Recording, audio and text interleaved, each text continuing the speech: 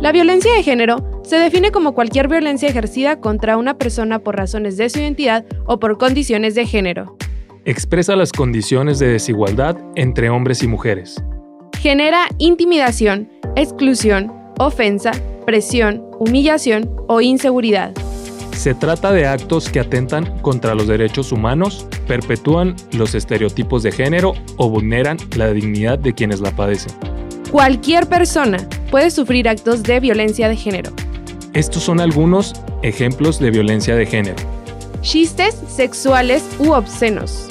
Comentarios o bromas acerca de la vida privada o las supuestas actividades sexuales de una persona. Invitaciones, llamadas o mensajes electrónicos indeseables o insistentes.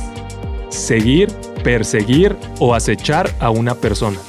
Gestos ofensivos o obscenos con las manos o con el cuerpo. Contactos físicos indeseados, insinuaciones u observaciones. Exhibición no deseada de pornografía. Burlas, palabras ofensivas o discriminatorias. Intimidar, amedrentar, amenazar o ignorar a un estudiante de reprobarla por no acceder a las peticiones de quien acosa u hostiga. Bajar de puesto o sueldo por no acceder a peticiones sexuales.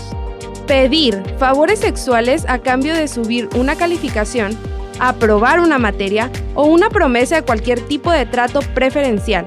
Amenazar a un estudiante reprobándole la materia. En cualquiera de estos casos, la UTECH te respalda. Denuncia. ¿Por qué es importante hacerlo? Ayuda a desnaturalizar el fenómeno de violencia. Se tiene un registro del número de casos de denunciados. Se puede identificar a un mismo sujeto agresor. Por ello, es importante que sepas cómo actuar. ¿Dónde y a quién dirigirte si eres víctima de violencia de género? Y de esta manera, activar el protocolo contra la violencia de género. Puedes consultarlo en el link que aparece en la página oficial de la universidad.